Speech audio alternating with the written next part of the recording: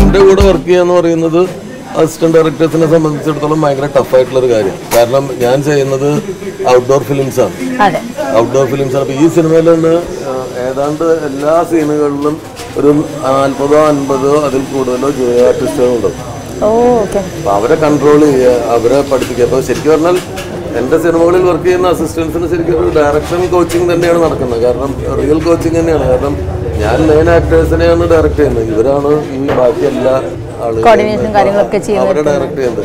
അവരെന്താ ചെയ്യുന്നതെന്ന് ഫിക്സ് അപ്പൊ ഞാനത് ഒബ്സർവ് ചെയ്തുകൊണ്ടിരിക്കുന്നുണ്ട് ഇവരെങ്ങനെ എന്താണ് ബാക്ക്ഗ്രൗണ്ടിൽ ചെയ്യുന്നതെന്നുള്ളത് അപ്പൊ ഒരു രണ്ടോ മൂന്നോ പടം കഴിയുമ്പോഴേക്കും ഇവർ പിന്നെ ഇത് ഒരാളുടെ കൂടെ കുറെ സിനിമകൾ വർക്ക് ചെയ്താൽ മാത്രം കിട്ടുന്ന ഒരു അണ്ടർസ്റ്റാൻഡിംഗ് ഉണ്ട്. ഇയാൾക്ക് ഇഷ്ടം ഇതാണ്.